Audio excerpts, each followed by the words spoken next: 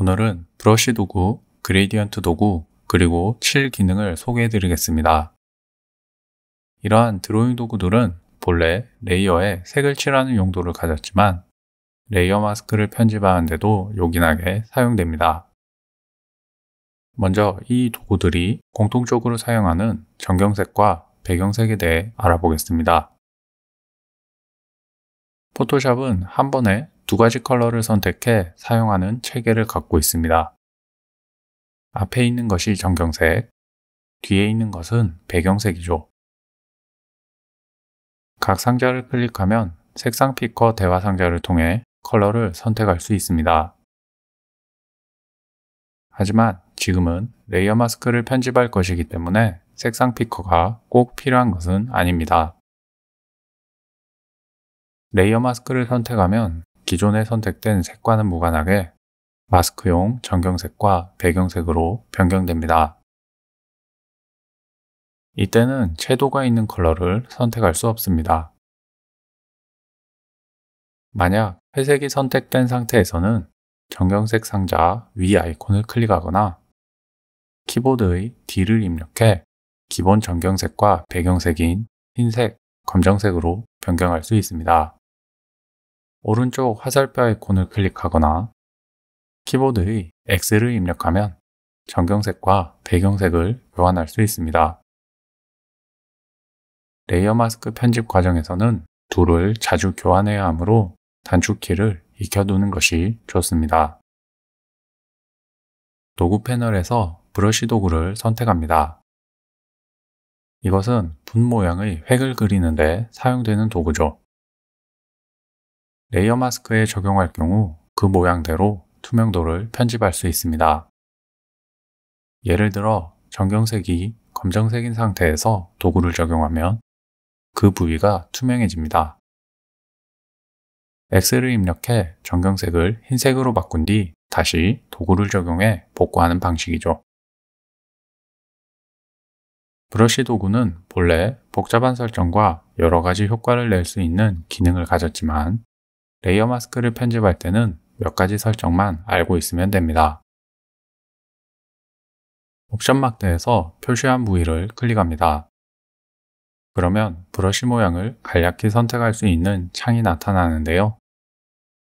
여기에서 크기와 경도를 설정할 수 있습니다. 크기를 변경하면 획의 굵기를 조절합니다. 픽셀이 브러쉬의 직경을 뜻하는 것이죠.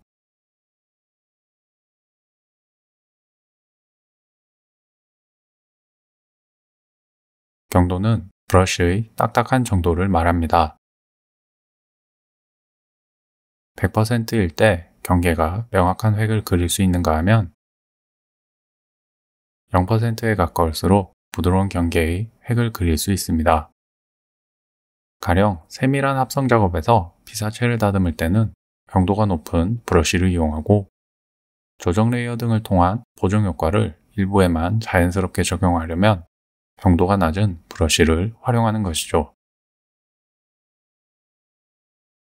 브러쉬 크기와 경도를 빠르게 변경해 작업 속도를 높이고 싶다면 키보드를 이용해야 합니다.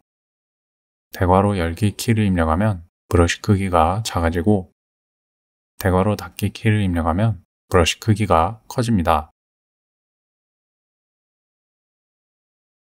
Shift 키를 누르면서 대괄호 키를 입력하면 경도를 조절할 수 있죠.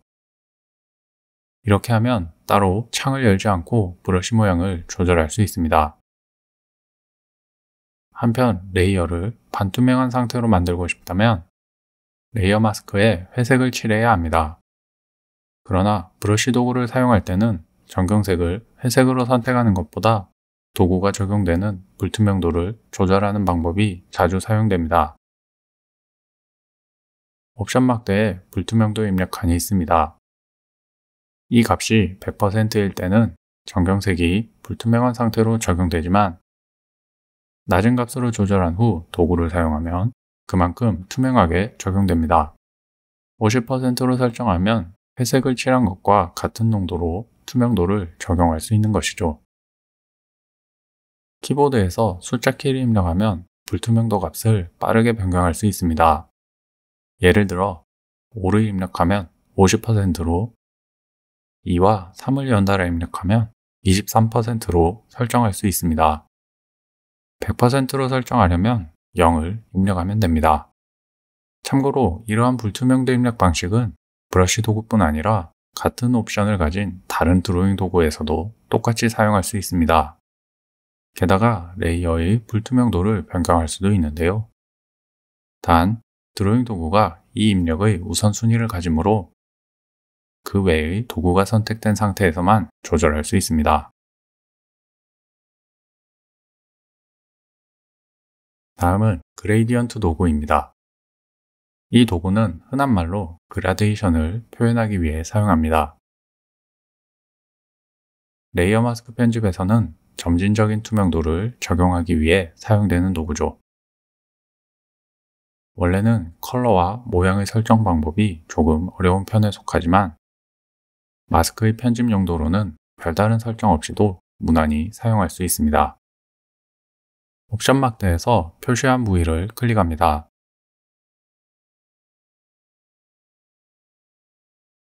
한 부위를 클릭하고 이를 드래그해 다른 곳에 놓으면 전경색에서 배경색으로 점차 변화하도록 면적을 채울 수 있습니다. 드래그를 시작한 지점과 그 바깥쪽이 전경색, 마친 지점과 그 바깥쪽이 배경색입니다. 만약 이것이 반대로 적용된다면 옵션 막대에서 반전 항목이 활성화되어 있는지 확인해 봅니다. 마스크에 gradient 도구를 적용하면 그로 인해 레이어의 투명도 역시 점진적인 형태로 편집된 것을 확인할 수 있죠. 드래그한 거리가 멀어질수록 천천히 변화가 일어납니다. X를 입력해 전경색과 배경색을 바꾼 후 다시 도구를 적용하면 이전과는 반대 방향으로 투명도를 적용시킬 수 있습니다. 선형 gradient 외에 마스크를 편집할 때 많이 사용되는 모양은 방사형 gradient입니다.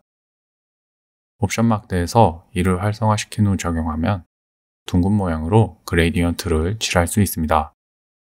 레이어 마스크에서는 주로 보정 기능이 적용된 레이어를 자연스럽게 합성하는 용도로 사용됩니다. 다음은 단색 컬러로 면적을 채우기 위한 칠 명령입니다. 비슷한 기능으로 페인트통 도구가 있지만 이 도구는 칠하려는 면적에 다른 컬러가 포함되거나 혹은 다른 컬러에 의해 연결되지 않은 면적이 있을 때는 그 부위에 새로운 컬러를 칠하지 않습니다. 대개 이러한 특징은 레이어 마스크를 편집할 때 불필요하거나 오히려 작업에 방해가 되기도 합니다. 이때는 칠 명령을 사용하는 것이 좋겠습니다. 이 명령은 전체 면적이나 선택 영역으로 지정된 부위를 기존 컬러에 관계없이 모두 덮어 쓴다는 근본적인 차이점이 있습니다. 편집, 칠, 항목을 클릭해 사용해도 되지만 이는 전경색이나 배경색 외에 다른 것을 칠하려 할 때 주로 사용되는 방법입니다.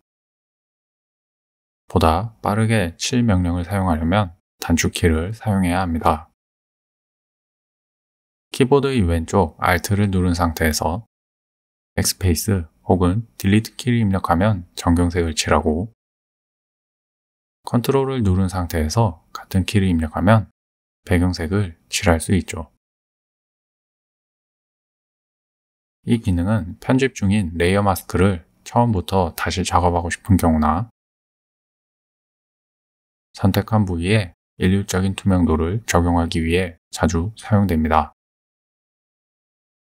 기본적인 드로잉 도구의 사용법을 알아보았습니다. 이로써 레이어 마스크의 본격적인 편집이 가능해진 것인데요. 앞으로의 영상에서는 지금까지 미뤄두었던 여러 보정 기능의 사용 방법을 알아보면서 레이어 마스크의 편집 예시를 함께 소개해 드리겠습니다.